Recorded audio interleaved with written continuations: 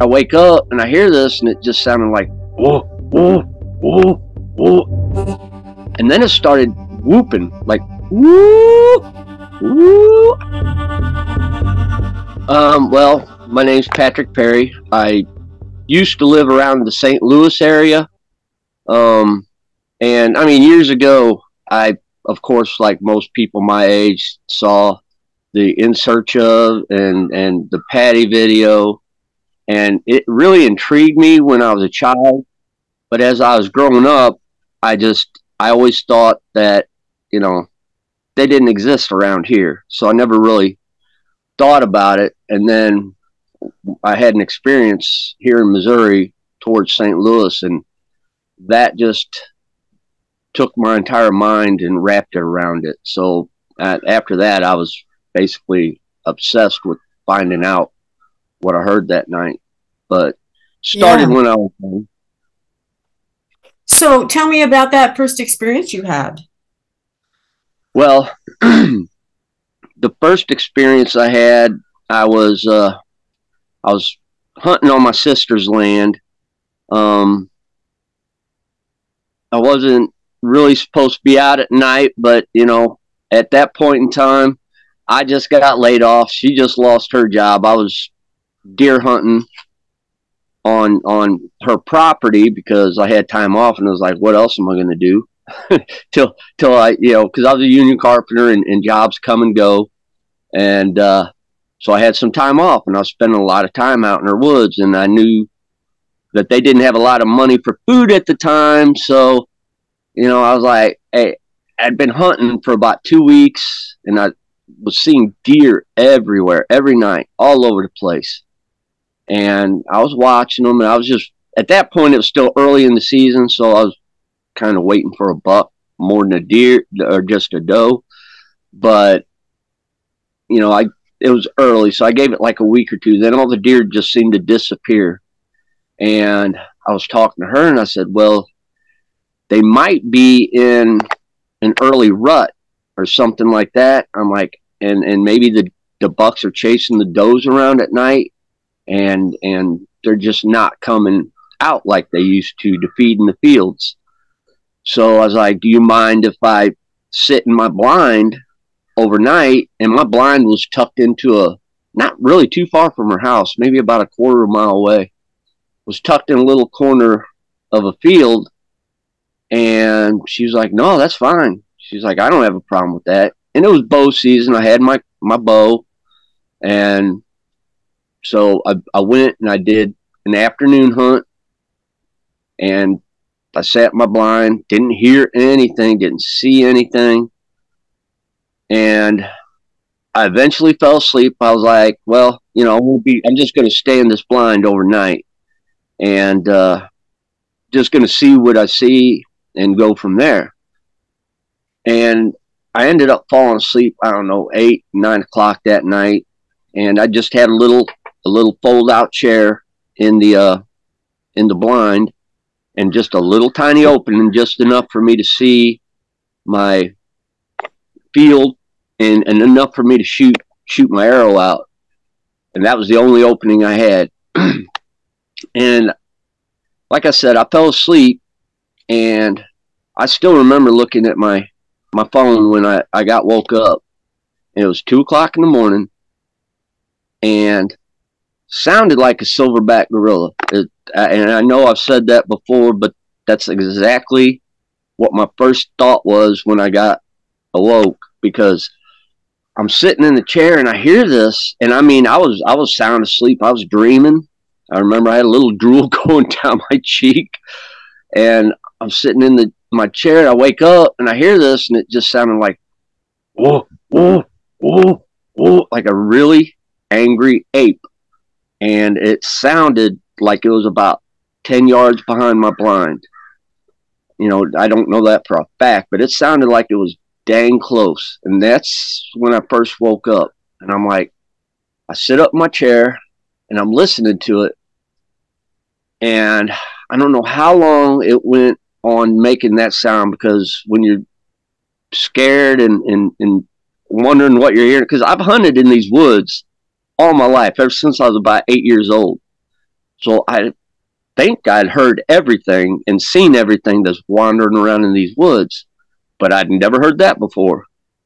And it went on making the gorilla sounds for a while. I could hear it breaking branches, kicking kicking up leaves and just making a ruckus.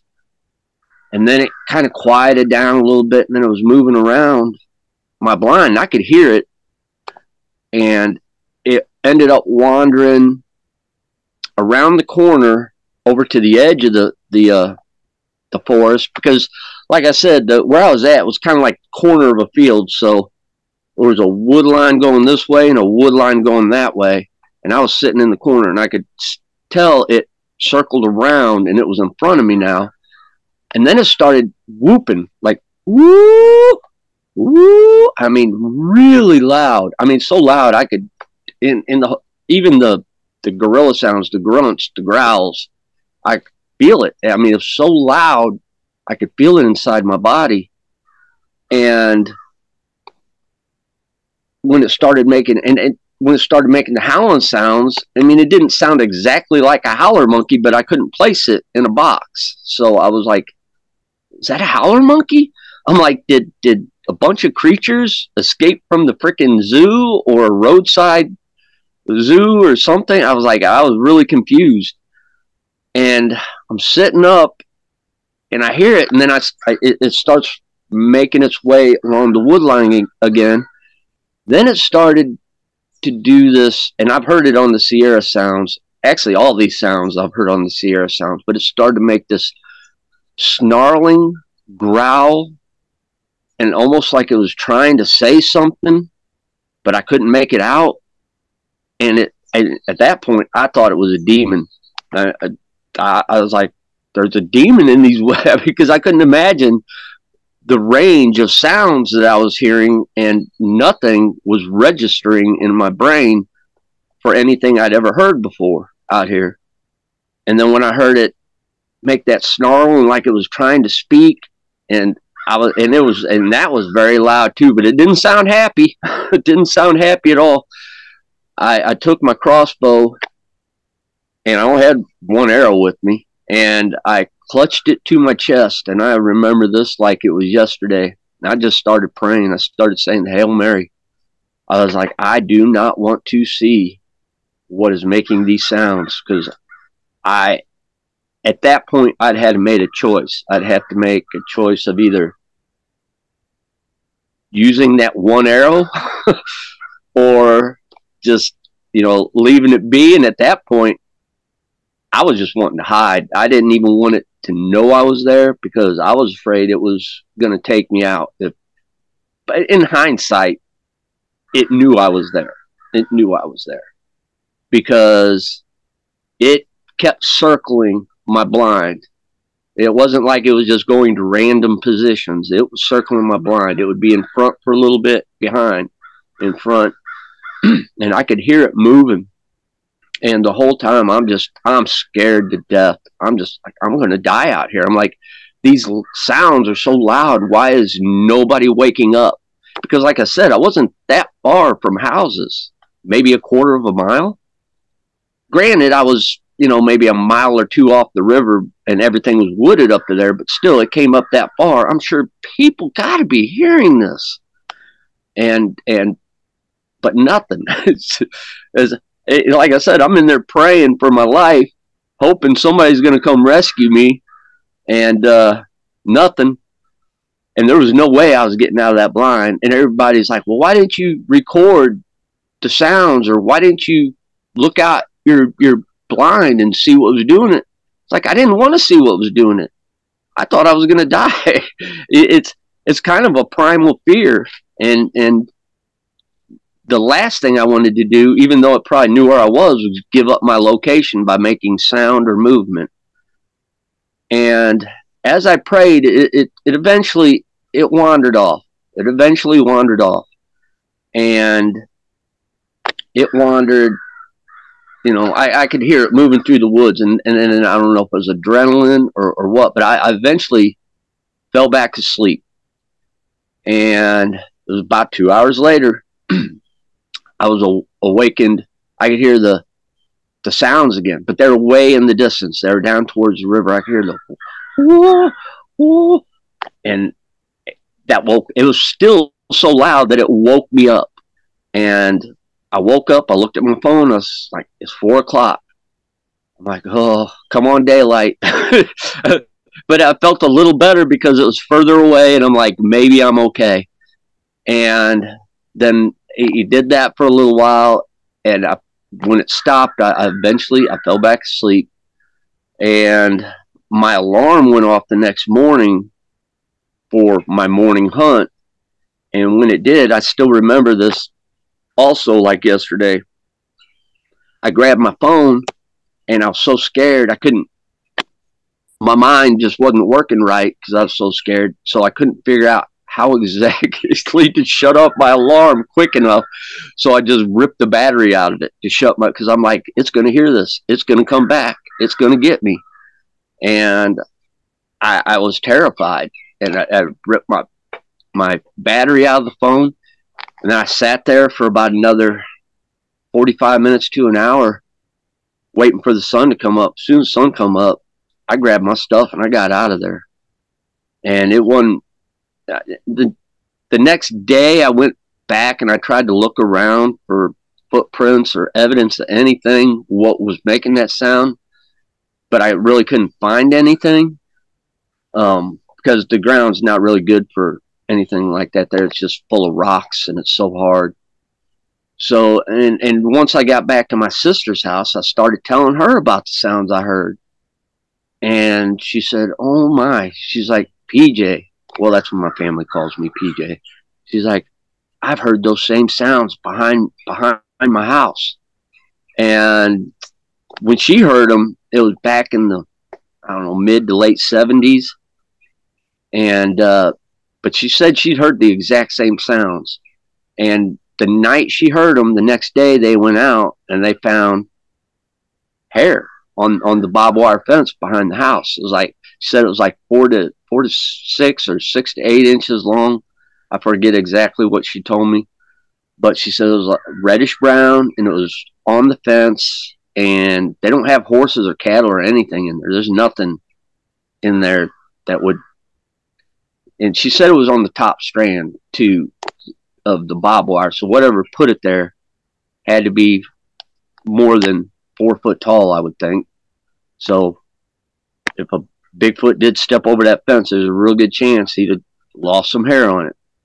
But back then they didn't, you know, Bigfoot wasn't a thing. She did she just kinda like wrote it off and don't worry about it and but when I told her what happened to me, she it, it brought it all flooding back. She's like, I've heard I've heard it. She actually it's not a great recording. She actually recorded what sounds like an Ohio howl out of her house one night.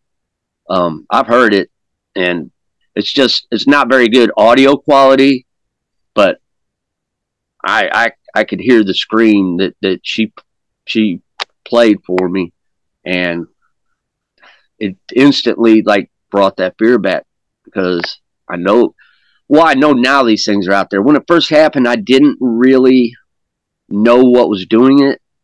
I kind of went on a bit of an investigation when she told me about that that got my wheels turning in my head about about hearing it behind her house so then the wheels in my head start turning and so I, I, I go online and then that's where I found the Sierra sounds and when I heard them I'm like it I started crying because I was like that's it was like a little bit of validation I was like that's what I heard that's what I heard that night I know that's what I heard and so the place where you saw this, this this was actually in Missouri. The the location where you saw where you had that experience, that sound experience in the in the hunting blind, that was in Missouri. Correct. Uh, it was in St. Clair, Missouri, and that's about an hour west of St. Louis, and it's it's located right on the Meramec River. And there was actually a, a local farmer out there, which I was going to share some of these pics of the prints, but I'm not sure if I have permission to because I don't know the guy. So a friend of mine knows the guy, and and his farm is about five miles away from from where I had my experience, and uh, he he cast a bunch of prints on his property, and that has actually seen them. But um, yeah, it was it was right right outside St. Louis. I mean, you you think being that close to a big city there wouldn't be anything, but once you get about an hour west of there, turns to a lot of woods, a lot of woods, a lot of water. So um, so um, when you went back out after at the next day and, and started looking for some evidence of things, did you find anything? No, it, you could tell there was disturbance behind the blind. That's about the only thing I could really tell. Um, one interesting fact, though, there's a cave that I used to like to go down to, and it's right on the river. It's not far from where I, my hunting blind was. I actually went down to that cave that day, just messing around, wanted to take a walk, go by the water, go by the cave, because I like sitting out front of it. And uh, so, and, and I don't know if that really has anything to do with it, but I went and did that before I went hunting that evening. And then on another day, when I was walking out that, that way, I saw something really strange it was a squirrel laying in the middle of a path that I always take, and it looked like it had been peeled. Like somebody grabbed the tail and ripped the skin down all the way to the head. The head the, the skin was wrapped over the head. Like somebody just peeled it like a banana.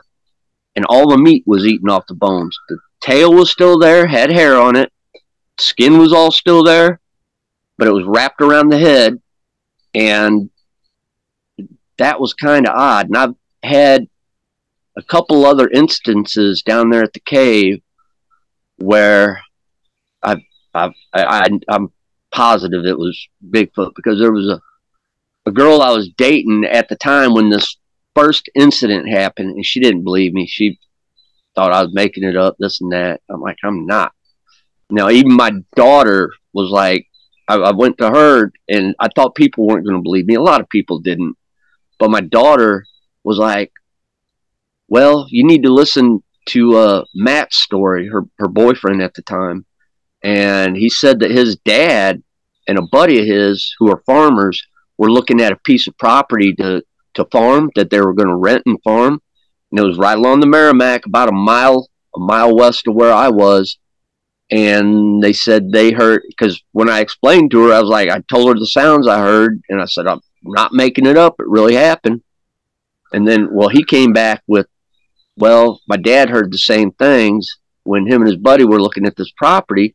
They got scared. They got in their car, and he said the ass end of the car got lifted up, and his dad looked behind, and all he could see was a dome-shaped head hair, shoulders, and his buddy was revving the, the engine up and it eventually just dropped it and they got out of there. And so that was the, another one of the stories that kind of made me lean towards, well, maybe I did hear a Bigfoot that night. And I was out there, it was about a year later, almost a year to the day later. And I was at the cave. I like messing around in that cave. and it was getting about dusk. And I was with my ex, and we heard straight up Ohio howls. There was one to the south, one to the east, and like two to the west, one right after another, and they were all different. You could hear one, and then you hear another one. It was a different pitch, further different position.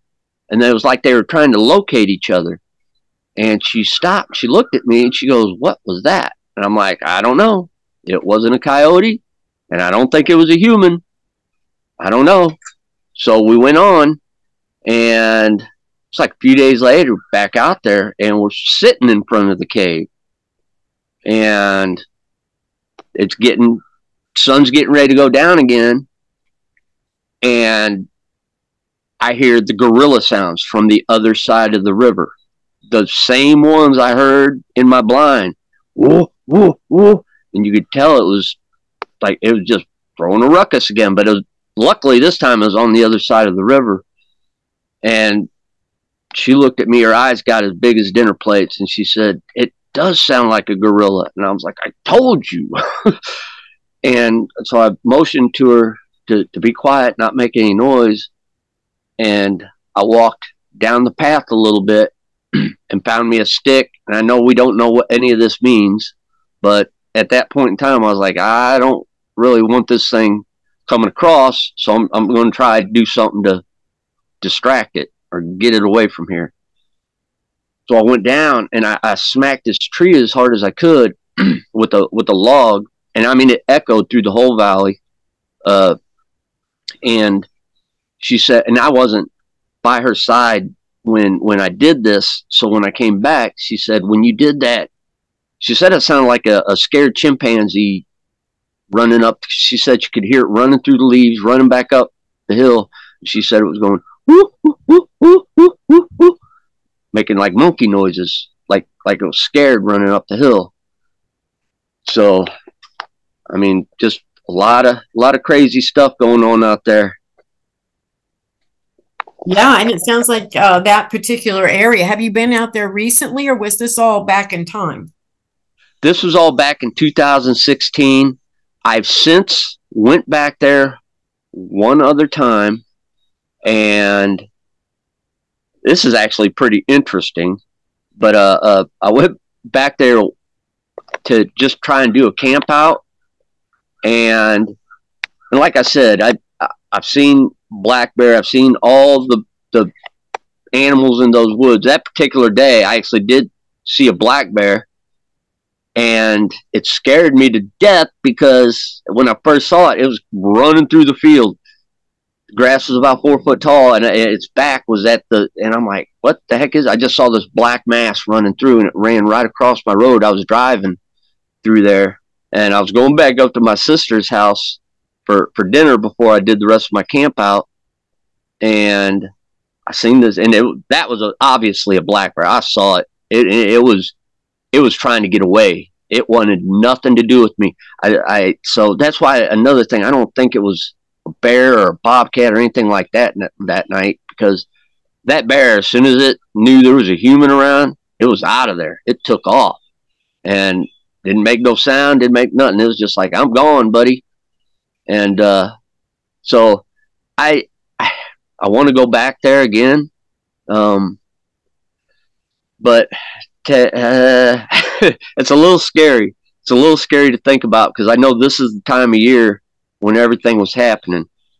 And I don't know if the time of year has something to do with mig- migratory routes or if it's just I, I, had a theory before that it might be like mating season and they're extra I don't know. They're they're not as scared to let themselves be seen or known. Um, but for some reason, that area, October, is is the hot time. So I've heard that with from others that uh, they tend to be more active um, in that fall season and in the spring as well. Yeah, I one one year out there, I was down in one of the creeks, and it was spring. And I, I took a picture of it. I wish I knew how to cast at that point in time because the picture didn't do it justice. And I know I saw there was two footprints. I know bare footprints, and they're in the mud.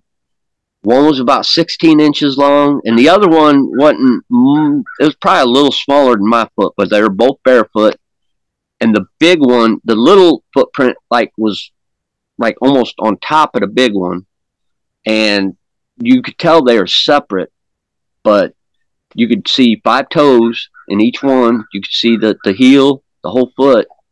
It wasn't. I took a picture. Like I said, I took a picture. It didn't do it justice. I, I put something down for scale, and it just without without you actually being there and looking at it, it just didn't really do anything. So I never really posted that or put it anywhere. And then there was, a, there was another incident when I was little tiny. Well, not real tiny, but 13. That's tiny compared to what I am now. and I was walking down that path, and it was Fourth of July. So that's maybe they're there all the time and they just don't make themselves known. But it was Fourth of July. I was 13. We were down on the river doing the Fourth of July celebration, and me and my little dog I had a little dachshund, and we went for a walk. And we were walking down this logging road, and we got I don't know maybe 200 yards away from where everybody else was. And we're actually getting close to where the cave was. And she stopped. She started growling, and the hair stood up on the back of her neck. And she's looking up into the woods. So I look up into the woods. I don't see anything. I'm like, what is it, girl? What is it? And she's looking and looking and growling. And after about 10, 15 seconds of that, she just yelped like somebody hit her with a switch, turned around and started running back towards the other direction as fast as her little legs could take her. And so I I did the same thing. I was she's scared, I'm scared. So I start running with her, and when we started running, we could hear it. Well, we could hear whatever it was. I, I don't know what it was, but I could hear it paralleling us up in up in the woods I didn't look back. I could hear it though. I could hear it running through the leaves, and it followed us all the way to about I don't know, twenty yards away from where the woods end and where everybody else was, and then we ran out. And I was telling everybody about it, all the adults at the time, and they just all laughing at me, saying it was a deer, it was a deer, blah blah blah. And I'm like, I don't. And at the time, as thirteen year old, I'm like, yeah, it was probably a deer. But after everything that's happened out there, it's like, I don't think it was a deer maybe that day because a deer's not going to chase you. It's going to run the opposite direction. Kind of like the deal with the bear. Most wildlife don't want anything to do with humans. So, but these creatures seem to be intrigued and want to be close as long as they don't get too close. And they're, they're just, uh, I don't know. They're a mystery, a real mystery. Truly are. What do you think they are? Oh, that's a loaded question. um, I think they have intelligence. I hope they are just flesh and blood, but if they are just flesh and blood, uh, they have abilities that we've lost or or never had, and, and they just happen to have it. Um, it, when I first saw the Patty video, I thought I was just an ape in the woods, you know. So and, and but then as you progress and you hear people's stories, and there's there's way more to it. I mean, there's people, and I, I'm not trying to get woo, but there's people say they can jump in and out of portals, which honestly, I don't know that I believe that, but it would make a lot of a lot of answers a lot easier for what they do. And it actually, and not, in, uh, I've actually seen an orb out there too, which I almost sometimes feel weird talking about because at the time I thought it was a drone, and it was nighttime, about midnight, and I see, and I'm I'm out wandering around in the woods, and I see a light above the tree. It's right at the top of the tree lines, about the size of a baseball. Not making any noise, not really putting off any light, but it's there. And I thought it was a drone. And and I watched it for a while and then I'm like, I'm gonna get out of here. so I start walking through the woods and this thing followed me all the way back to my car and before it disappeared and I mean, maybe it was a drone, but I don't know why anybody be flying a drone at night. not really going to see much unless it's a thermal drone, which I don't think they even had back then, back in 2016, 17, whatever it was. So, is that the only drone you've seen out there? What's that now? I mean, is that the only orb you've seen out there?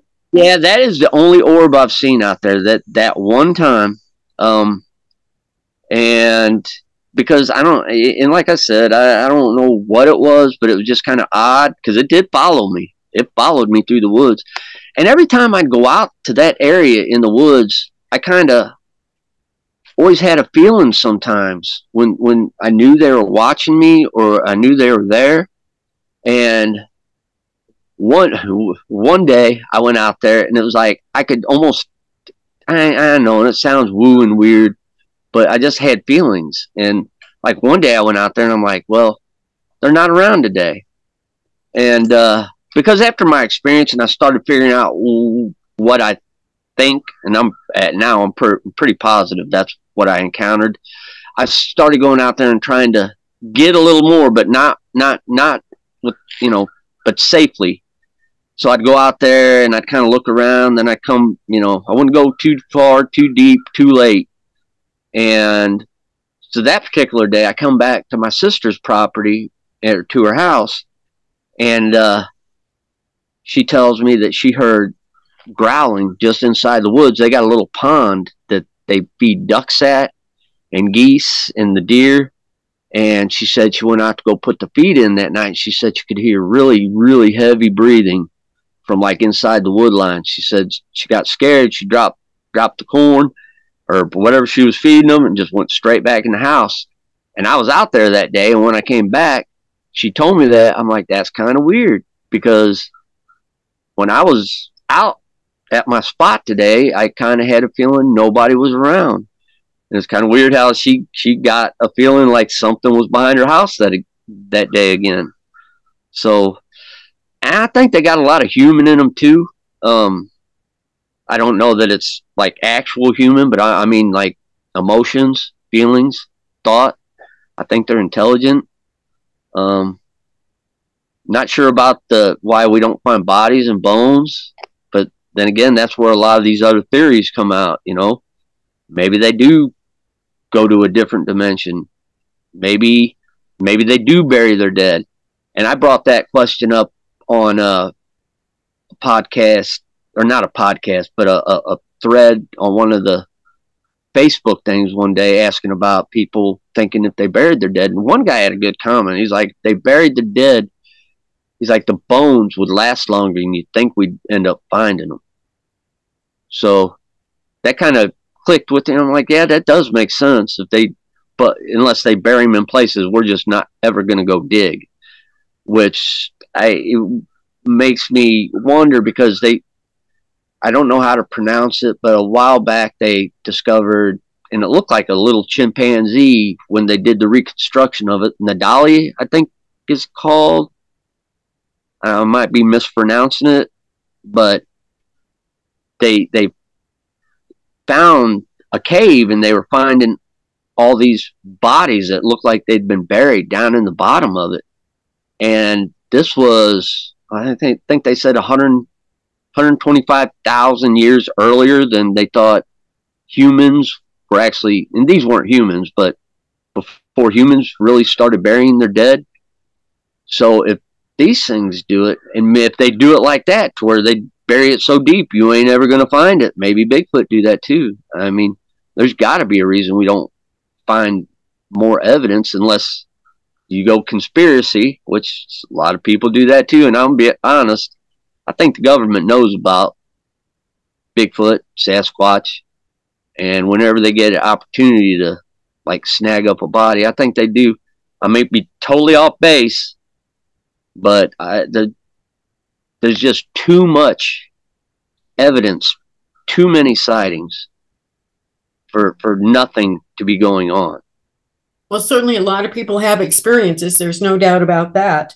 Um, out there in that that area that you've had so much um, experience with and kind of know the area so you, because you've hunted it so much, did you ever find any structures or tree breaks or anything like that? later I did because, like I said, after I had the experience, I didn't really know about the tree structures and breaks um, until like I really started investigating it. Uh, and so on, on a few of my hikes out there, and I, I don't, and, and you know, I, I, I'd take pictures of them, send them my sister. But yeah, I, I find what looked like little teepees out in the wood, and they'd be way up on a hill look overlooking like the main trail, and sometimes I find like the broken branches. But this was like later. This is way after my experience, and when I started realizing there's something out here, and I started looking more. I started listening more. Like I don't know. I'd, I'd I'd hear sound like little whoops sometimes when I'd go to my my truck, and I'd hear little whoop, and I'd be like whoop, but nothing as scary as what I had the the, the first time. It was always kind of like after that initial experience, it wasn't as aggressive except for the time across the river again. So I don't know. Maybe I, there has to be different individuals, and then but the the the structures I saw, they they didn't really look big enough for you know like a Sasquatch to be inside of. So I don't know if those are and and, and I know it wasn't just floodwaters that did it because like I said they were way up on top of the hill, way up on top of the hill, way beyond where floodwaters could get. And honestly, in areas where people just really aren't going to go because they're going to stick to the main roads. I I like adventuring through the woods. I like going to places where people don't like to go, and you know maybe that's why I got a glimpse of. And maybe maybe they were structures, maybe they weren't. You know, I'm not an expert. What uh, uh, what else do you have to, to tell us? Any any other experiences, encounters, or research you've done? Um, well, I there, uh, well, where I live at now, I'm living in Forsyth, and there's a stretch of woods behind the house here, and some people up the road. I'm not going to mention names or give addresses, but they they were actually on on a show, uh, and the people thought they had, and, and they live uh, as the crow flies, probably five miles from where I'm at right now and they had pictures and and and they actually were on a show about the Ozark Howler, which I'm sure you've heard of. Um, and I'm gonna be honest with you, I think the Ozark Howler is just a Bigfoot out here howling in the woods. But they had tracks, which I've seen pictures of, through the snow, through their yard, like six foot stride lengths, huge foot, like 20 inches long. Um, I think they were on my show, Bigfoot the Limits. I don't know if you've seen that one or not, but uh, we go into great detail of their documentation on twice they had a Bigfoot, at least the foot footing was going through their yard. Um, you should watch that one, Bigfoot the Limits. It's it's a really fabulous documentation of some activity on their property. Oh, that's cool. I didn't I didn't realize that. I will have to check it out but yeah, they uh they live right up the road, and we we met one day in a parking lot here because I got Bigfoot stickers on my truck, so I do that so people, if they want to talk or if they got a story or anything like that, they can come up and talk to me.